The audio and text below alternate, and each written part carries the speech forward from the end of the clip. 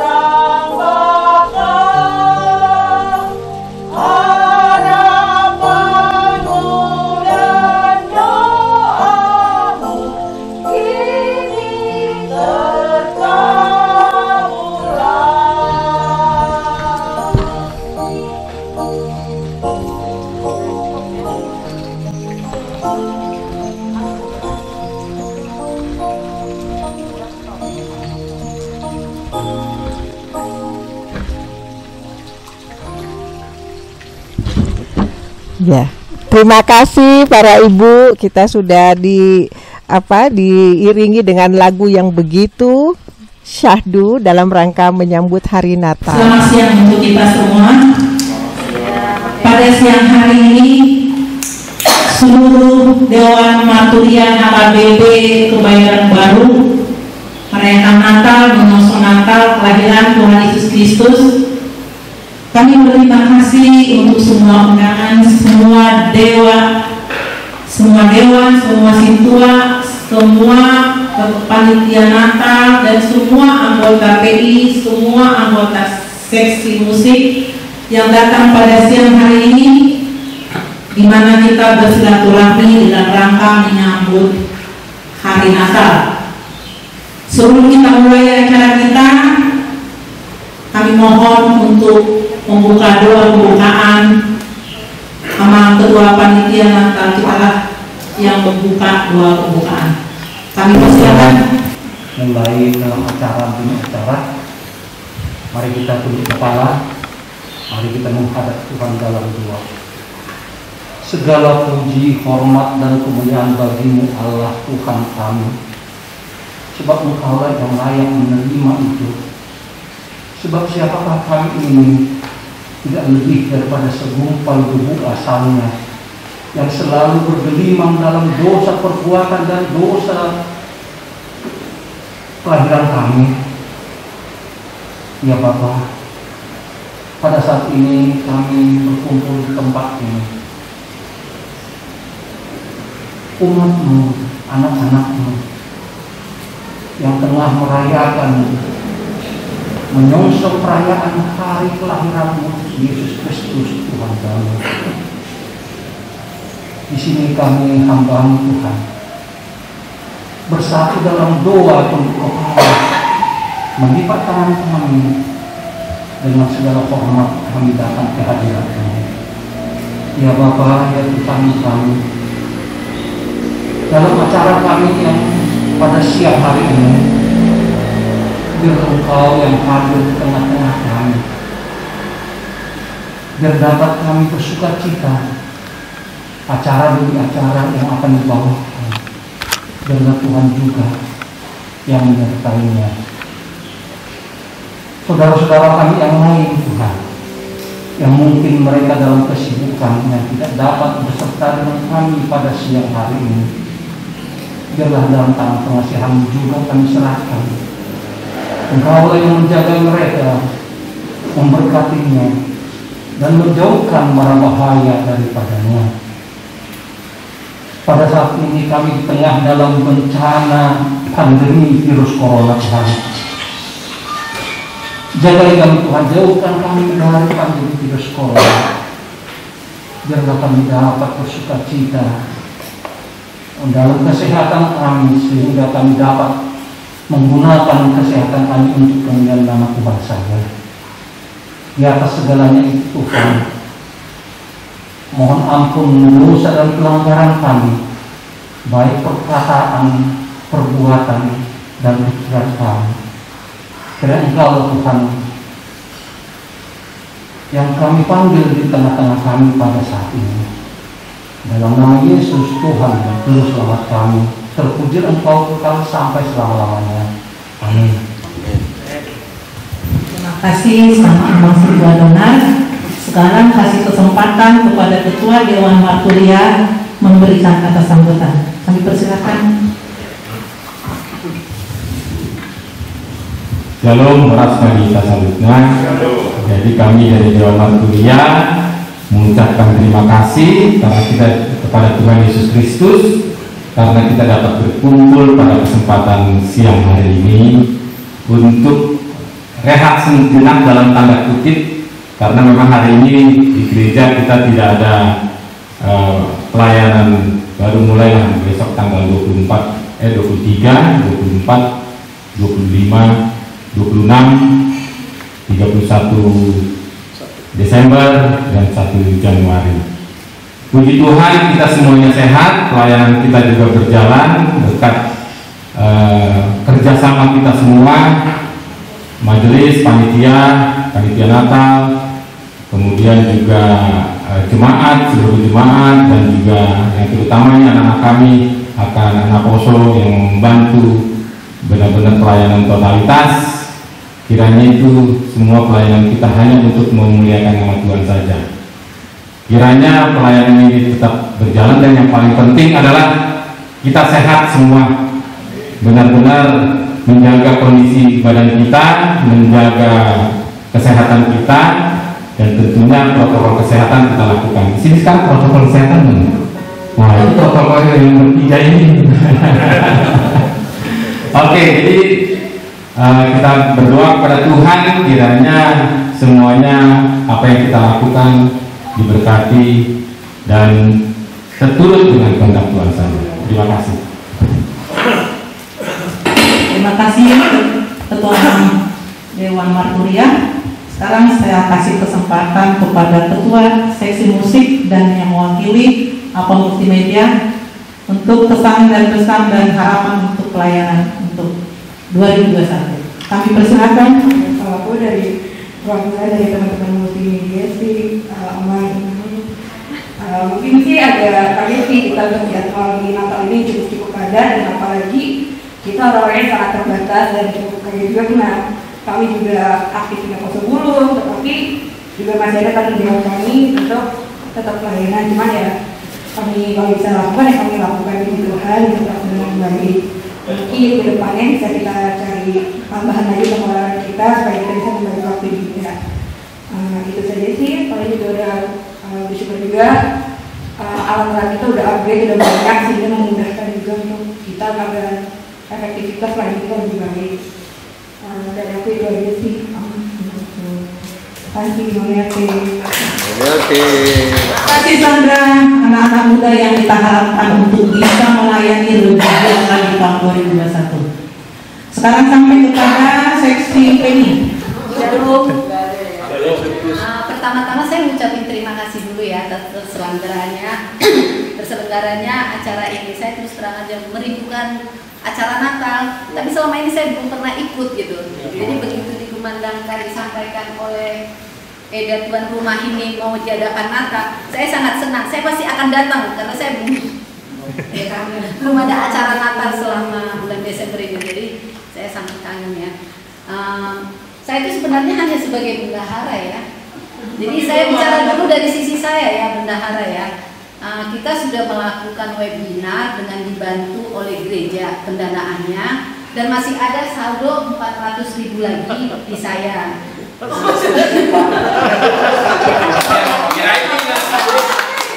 Ya, bendahara yang bagus. Uh, eh, Pak Ketua tadi mempertanyakan kenapa ini nggak minus. Saya berterima kasih karena ini keterlibatan kita semua ya. Begitu ada acara yang nggak memungkinkan dana dari Huria, kita terus terlibat semuanya. Jadi uh, semua terlibatlah memberikan sumbangsinya, donasinya, sehingga tertutupi semuanya. Makanya kita plus 400 ribu ya. Uh, ini juga terlibat semuanya, tapi yang punya sangat punya andil ya tuan rumah ya. Uh, mengenai acara ya, uh, saya pernah ketemu dengan jemaat ya, mereka menyampaikan seperti ini. Ini sudah diisi oleh renungan malam gitu, oleh para sintua udah terlibat aktif semuanya, hampir semuanya ikut aktif di dalam keterlibatan renungan malam itu. Ya, tapi maunya ditingkatkan lagi ada renungan pagi. Gak kuat deh. Renungan malam aja Dari saya, Tuh, ketuanya tuh. Nah, kalau harapan saya sih mengenai dari segi pendanaan aja ya. Jadi saya harapkan mungkin kalau ada acara-acara jangan sampai menghambat acara itu tidak terselenggara karena dana.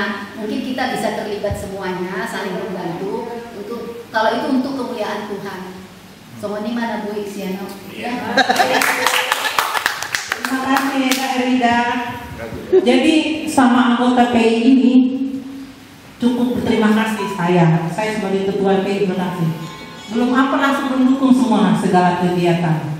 Saya pada saat ini mau ucapkan terima kasih kepada semua anggota PI dan renungan malam. Sehingga sampai hari ini kita sudah 180 kali renungan malam. Kita belum dilanjut, sudah mulai Ya, dari- kita mulai dengan perbincangan kita pada siang hari ini.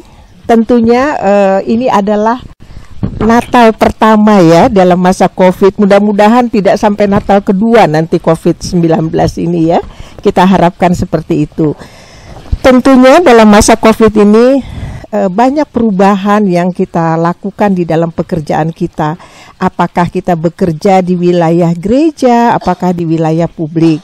Nah, saya juga mau bertanya tent- eh, dengan Bapak Sintua Togu Hutagalung yang eh, saya mencatat di sini bahwa eh, dalam kerangka Natal di Gereja HKBP Kebayoran Baru ini konon menjadi koordinator dana Natal ya. Kira-kira seperti itu ya. Nah, tentunya banyak perubahan ya dari Natal yang sebelumnya. Eh, ketika kita menjadi koordinator tentu tidak eh, banyak hal yang harus kita lakukan. Termasuk juga mungkin di dalam rangka fundraising dan lain yang sebagainya. Nah, mungkin Bapak bisa jelaskan ini kita santai aja gitu ya. Kira-kira apa sih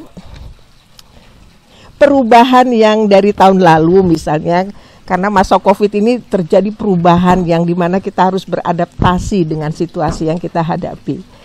Nah, kalau Bapak di dalam pelayanannya sebagai Sintua, kebetulan sebagai koordinator dana Natal, apa sih yang Bapak alami gitu? Apakah ada perbedaan antara yang tahun sebelumnya dengan yang saat ini?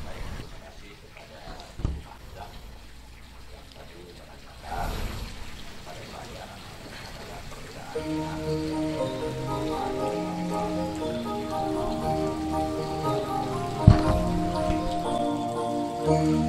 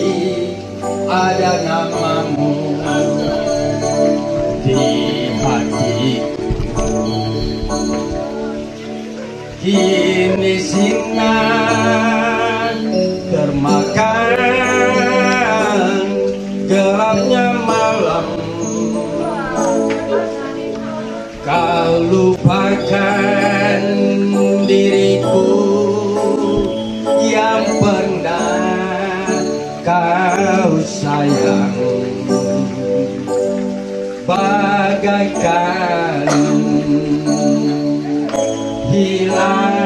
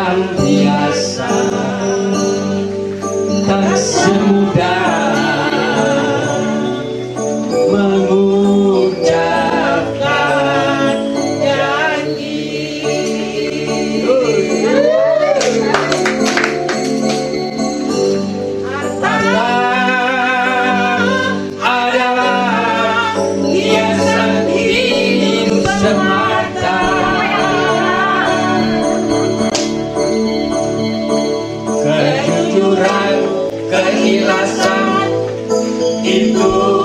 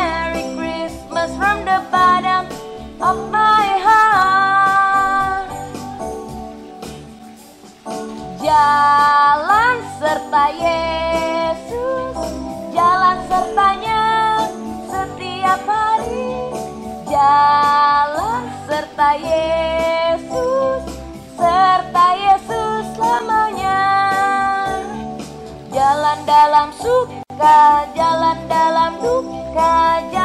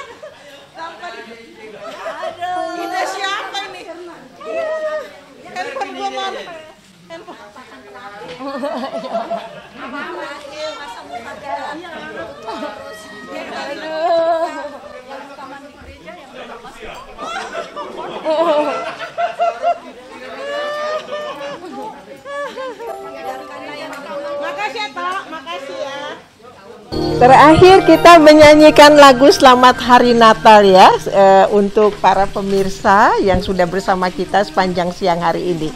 Hmm.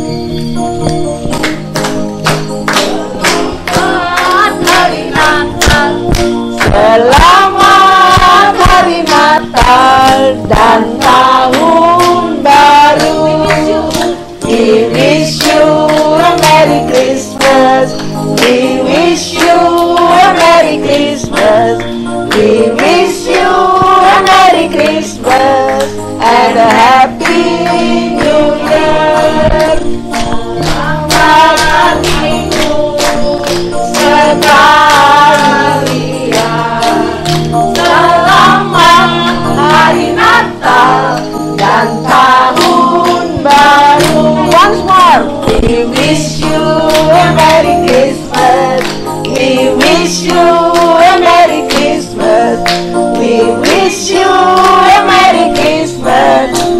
That.